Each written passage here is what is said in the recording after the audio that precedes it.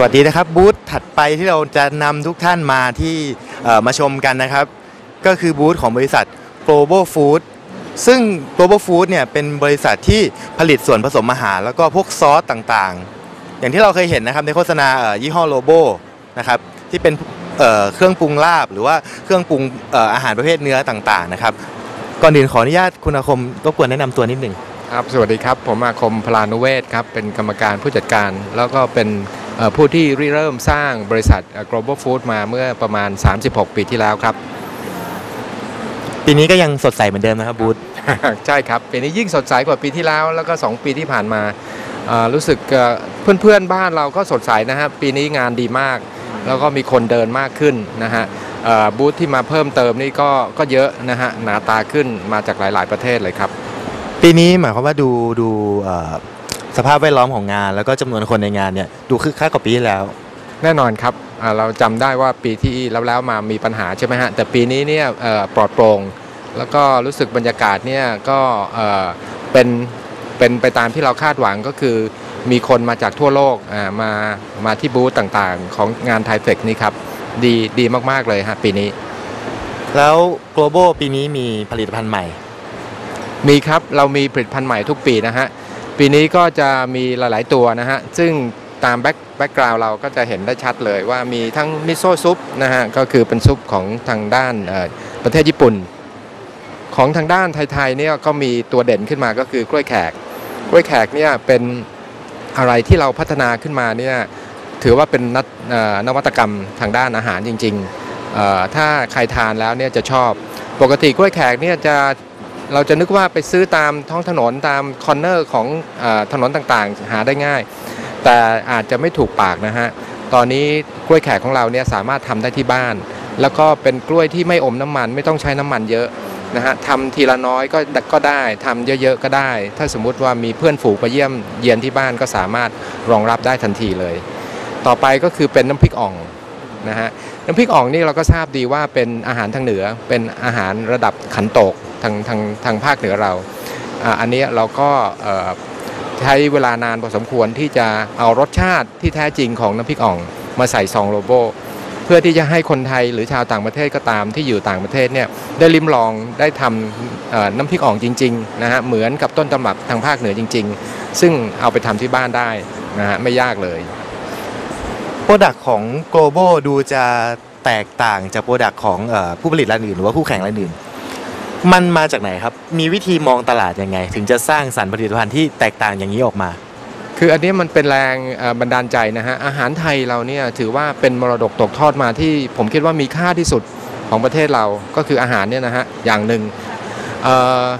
เพราะฉะนั้นอาหารอาหารไทยเนี่ยถ้าสมมุติว่าว่าเราสามารถที่จะประกอบ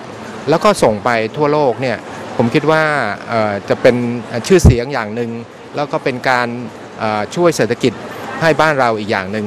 เพราะแรงโดนบันดาบันบันดาลใจอันนี้ผมก็เลยคิดว่าเราจะจับทุกอย่างที่เป็นอาหารไทยเนี่ยนะฮะพยายามจับใส่ซอง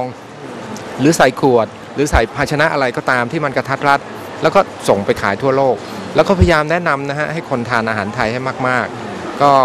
ก็จะเป็นผลประโยชน์สำหรับคนไทยนั่นแหละเมื่อกี้เห็นมีกระทะมีเตาอยู่หน้าบูธด้วยแสดงว่าวันนี้มีโชว์อ่าครับอ่า เราก็จะเอาสินค้าใหม่เนี่ยมาเผยแพร่นะฮะในงานนี้ เป็นเป็นการเปิดตัวสินค้า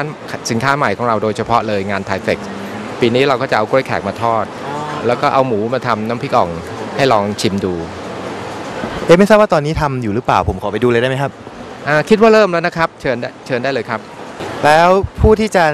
พาเราไปรู้จักกับโปรดักของ global food นะครับ ก็คือคุณสจี สวัสดีครับ เอาตัวไหนก่อนครับเดี๋ยวเรา จากตัวสินค้าใหม่ของปีนี้ที่เรามาโชว์นะคะ ก็คือเราจะเริ่มจากเราจะมีในส่วนของ instant miso นะคะ เรามี 2 แบบก็คือเป็นไวมิโซะกับอาก้ามิโซะหรือหรือมิโซะแดงนะคะ ก็คือมันเป็น instant นะคะ1 1ซองใหญ่เนี่ยจะประกอบไปด้วย 3 ซองเล็กนะคะ ซึ่งข้างในเนี่ยจะมีเต้าหู้กับสาหร่ายอบแห้งอยู่แล้ว ลูกค้าก็แค่ใช้น้ำร้อนนะคะ แล้วก็ละลายลายออกมาก็จะจะเป็นประมาณอย่างนี้นะคะ รอให้น้ำมันเข้าไปในเต้าหู้แล้วเราก็จะทานได้เลยนะคะ อันนี้จะง่ายมากจะเป็นมิโซะนะคะสองรายการ แล้วก็มีเอาเอาไหนต่อเอาที่สีสวยๆนั่นดีกว่าครับอันนี้จะเป็นซอสนะคะอซอสเราก็จะมี 6 items อันเนี้ยอันนี้เราจะออกมาตั้งแต่ปีที่แล้วนะคะ3 items นี้เราจะประกอบไปด้วยในส่วนของมะม่วงนะคะ มะม่วงสับปะรด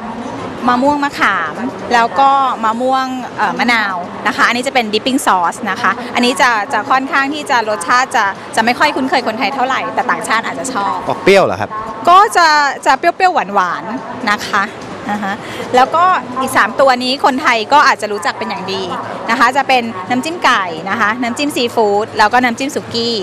นะคะ อันนี้จะ3 3ตัวนี้คนไทยจะคุ้นเคยนะคะ แล้วก็ต่อไปได้ข่าวว่าตัวนี้ใหม่ล่าสุด ตัวนี้ใหม่ล่าสุดจะ เป็นน้ำพริกอ่องนะคะ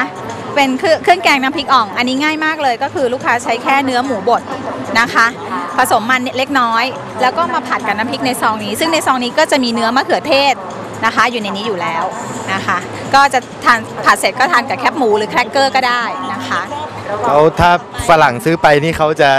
ริมรสน้ำพริกอ่องได้ไหมครับเนี่ย รู้จักนะคะฝรั่งจะรู้จักคนที่เคยไปทางภาคเหนืออะไรอย่างเงี้ยเขาจะรู้จักเลยเออน้ำพริกอ่องเขาเคยทานทานกับแคบหมูอะไรอย่างเงี้ยเขาจะรู้จักนะคะ และต่อไปก็จะเป็นตัวไฮไลท์นะคะ อันนี้จะเป็น banana fritter เดี๋ยวจะให้ดูวิธีทำอันนี้ง่ายมากเลยเป็นแป้งคนไทยก็เรียกแป้งกล้วยแขกแต่จริงๆแล้วก็คืออาจจะเป็นแป้งกล้วยแขกทรงเครื่องนะคะ แป้งน้องทำเลยค่ะนะคะเราแค่แค่เอาแป้งนะคะในซองอันเนี้ยนะคะ แล้วก็ละลายกับน้ำประมาณ 6 ช้อนโต๊ะ ประมาณนะคะ ลูกค้าอาจจะใช้ 5 ช้อนโต๊ะก็ได้นะคะ ซึ่งข้างในจะมีงา มีเกล็ดมะพร้าวนะคะ แล้วก็มีถั่วนะคะอ๋อนี่เติมเพิ่มแต่น้ำเลยใช่ไหมครับ เพิ่มแต่น้ำอย่างเดียว หรือถ้าเกิดเป็นต่างแล้วก็เราก็กล้วยนะคะ แล้วก็จะเลือกกล้วยประมาณเท่านี้ค่ะ ก็คือสีประมาณกระดังงานะคะ แล้วเราก็ตัดหัวตัดท้ายนะคะ แล้วก็ผ่าผ่าสี่ หรือผ่าสามก็ได้ถ้าทำทานเองอยากได้ชิ้นใหญ่หน่อยนะคะอันนี้เป็นผลงานใหม่จากจากแลบอาดีใหม่ด้วยไหมใหม่ด้วยจาก Lab RD ใหม่ด้วยใช่ไหม ใช่ค่ะ คือโลโบจะมีสินค้าใหม่ทุกๆปีนะคะ ไม่ต่ำกว่า 3 ไอเทมแต่ละปี อันนี้ไม่ใช่สินค้าที่พัฒนา แต่ว่าเป็นสินค้าที่เอ่อถูกคัดกรองมาจากจำนวนมากแล้ว ใช่ค่ะจะปล่อยออกมาใช่ค่ะใช่ค่ะ ตัวนี้นะถ้าต่างชาติอาจจะหากล้วยไม่ได้ หรือว่าอาจจะยังไม่ชอบก็จะชอบฟักทองก็ได้เอ่อมันเทศก็ได้นะคะ หรือว่าจะเป็นเอ่อฟักทองมันเทศกล้วยกล้วยหอมก็ได้มันฝรั่งก็ได้นะคะเนี่ยค่ะง่ายมากเลยอันนี้ก็คือเราจะกวน แล้วพอเหมือนแบบรอแป๊บหนึ่งให้น้ำมันเข้าไปในในเกล็ดมะพร้าวนิดนึงนะคะ แล้วก็จะชุบแป้งไปชุบกับกล้วยสวัสดีครับคุณผู้ชมสูตรลับสูตรความอร่อยกับโลโก้เราจะมาทำแกงเขียวหวานกันนะครับ ซึ่งท่านผู้ชมทางบ้านอาจจะเป็นคิดว่าเอาชิ้นโตๆเลยพี่ผมชอบวันนี้เป็นวิธีทำที่ไม่ยุ่งยากและน่าสนมากเอาแล้วนี่ก็ เสร็จละก็คือชุบทอดเลย ทอดเลยค่ะ ชุบชุบเสร็จแล้วก็วอร์มน้ำมันให้ให้ให้ร้อนนะคะ ถ้าคนไทยใครมีกระทะทองเหลืองจะยิ่งอร่อยมากกระทะทองเหลืองเดี๋ยวนี้มันก็มีใบเล็กๆ หาซื้อง่ายนะคะต้องครับเอาสองสามชิ้นเอาลงเอาเอาลงชุบเลยครับชุบลงเลยค่ะเอาลงเอาลงเลยครับชุบแล้วลงเลยค่ะครับใส่กะทิและฉีกซองเครื่องแกงเขียวหวานลงไป แปลว่าตอนนี้นี่ถ้าบ้านใครสามารถทอดดีฟรายได้ก็จะทำกล้วยแขกกินได้ละ ได้ค่ะจริงๆ แล้วไม่ต้องดีไฟคือใช้กระทะไฟฟ้าก็ได้อ๋นะอเหรอคะฮะ กระทะไฟฟ้าธรรมดาก็ได้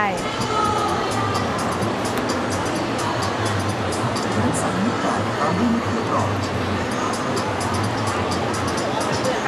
เราก็ไม่ต้องไปซื้อไปซื้อกล้วยแขก ตามแบบ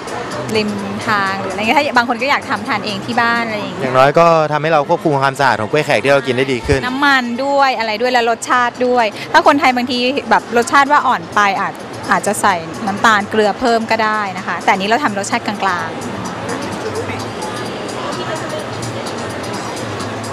อืม อันนี้เราทำเราทำทานเองที่บ้านได้ แล้วเราก็เลือกเลือกตัวผลิตภัณฑ์ได้ กล้วยก็ได้หรืออันอื่นก็ได้นะคะสำหรับคนช่วงปีนี้นี่หวังยอดขายหรือหวังลูกค้าหรือว่าหวังอะไรมากนะครับวันนี้จริงๆแล้วเราก็หวังทั้งคู่อะนะคะ เราก็อยากจะหวังยอดขาย แล้วก็อยากจะขายสินค้าได้เพิ่มขึ้น แล้วก็อยากได้ลูกค้าลูกค้าใหม่ ๆ เพิ่มขึ้นนะนะคะส่วนใหญ่แล้วสินค้าโลโบเราก็จะเป็นที่รู้จักอยู่แล้วอะนะคะ แต่เราอยากทำทำให้ลูกค้าเนี่ยเออรู้จัก สินค้าใหม่ ๆ ของเราเพิ่มมากขึ้น อย่างบางคนที่เคยเคยใช้ตัวหนึ่งอยู่ เราก็อยากตัวหนึ่งขายดีแล้วเราก็อยากพยายามแนะนำสินค้าใหม่ ๆ เข้าไป เพราะว่า Lobo เรามีประมาณร้อยร้อยสามสิบ item ได้แล้วอะค่ะ โดยทั่วๆไปแล้วปีนี้เอ่อลูกค้าที่เป็น trade visitor ที่เป็นชาวต่างชาติจริง ๆ นี่เยอะไหมฮะเยอะค่ะปีนี้ปีนี้ลูกค้าเยอะกว่าปีที่ผ่านมานะคะ แต่ส่วนใหญ่แล้วจะเป็นลูกค้าในโซนเอเชียบ้านเราเนี้ยจะเยอะกว่านะคะอื มเพราะมันด้วยความที่ว่า product มันอาจจะเป็นแบบ authentic Asian ด้วยใช่ไหมครับที่เปิดตัว ใช่ค่ะใช่ เสร็จแล้วเป็นไงบ้าง ก็ดูหน่อย สีสวยน่าทานนะคะ บางคนก็จะชอบทานตรงแป้งตรงกรอบๆนี้ด้วยนะคะ อันนี้ชิมได้เลยใช่ไหมครับ ชิมได้เลยค่ะ แต่ระวังร้อนนิดนึงนะคะ โอเคงั้น เดี๋ยวต้องรอสักแป๊บรอชิม แต่ก็ขอบคุณสจีมากครับขอบคุณเช่น